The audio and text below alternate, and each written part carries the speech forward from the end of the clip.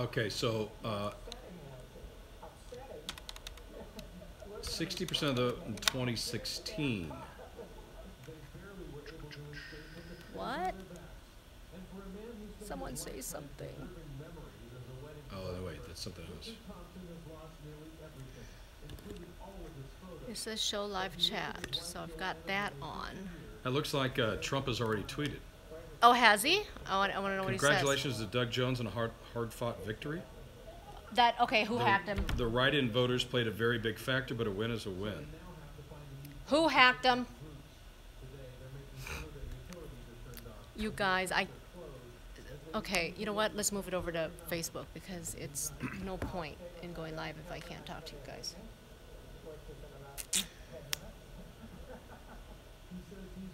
Okay. Sorry, you guys. There you go. The local assistance center is closing at eight to nine It'll be open tomorrow at noon through eight o'clock, all the way through Saturday.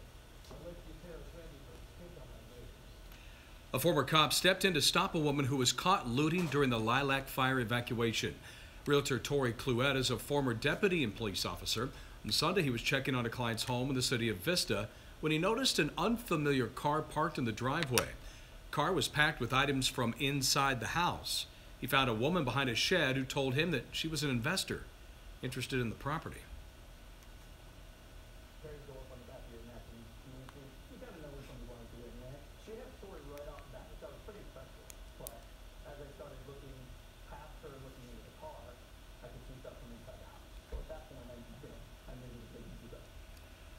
Well, Cluette called deputies who then arrested 43 year old Sachin Silvercloud on suspicion of burglary during a state of emergency. Well, staying with fires here, the Thomas Fire has destroyed hundreds of homes, but it has also brought communities together. KCAL 9's Lisa Siegel reports in Ventura, neighbors even opened a pop up shop to help victims. Okay, you guys, find us over at Facebook. Uh, figure this out. That was the first kind of a hiccup we've had with uh, YouTube, but okay, we'll see you over there. Bye.